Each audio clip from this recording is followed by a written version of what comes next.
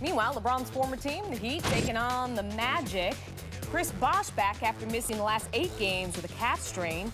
Without Bosh, the Heat have dropped in points per game, field goal percentage, and we're just three and five. But Bosh making the difference early.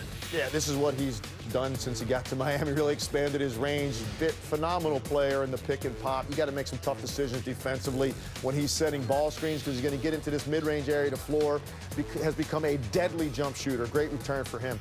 Bosh 20 points, 8 rebounds in 33 minutes of play. Fourth quarter, Heat down one. D Wade coming up big again in the fourth. He's been phenomenal down the stretch uh, and lately for Miami, looking a lot younger than his age mm -hmm. would indicate.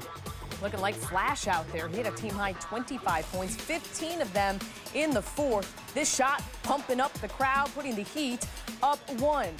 Now Magic down two with a minute to play. Victor Oladipo off the glass. Tied at 101. 10 seconds to go, Oladipo crosses up Norris Cole, gets fouled. He would make one of two from the line. He finished with 22. So four seconds to go, last chance for the Heat. Down one, Wade.